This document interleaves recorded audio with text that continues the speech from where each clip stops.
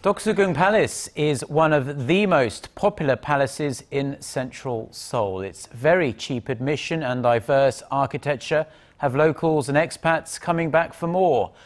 And the great news for lovers of the palace is that one of its grandest sub-buildings, Seokjojeon, will reopen to the public next week after undergoing five years of painstaking restoration work. Park Ji-won reports.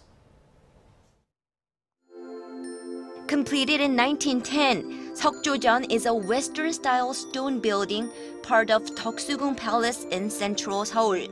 Designed by British architect G.R. Harding, the three-story hall was built according to the 18th century European court style and it housed King Gojong's sleeping quarters and audience rooms. The building went through so many alterations during more than 35 years of Japanese occupation in the early 20th century and following the Korean War. And Seokjojeon now opens to the public after five years of restoration work, which cost some 13 million US dollars.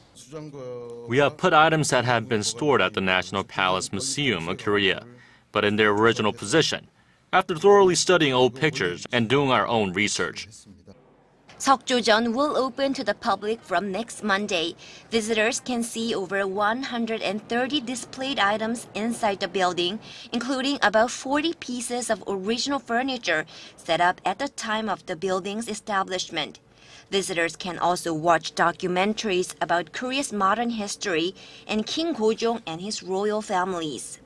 King Gojong was the final king of Joseon dynasty that lasted some 600 years and the first emperor of the short-lived Great Korean Empire, which was forcefully annexed by Japan. Historians have shown us that Seokjojeon is not a symbol of foreign annexation, but a symbol of King Gojong's willingness for independent modernization. So this hall is of great historic importance to Korea.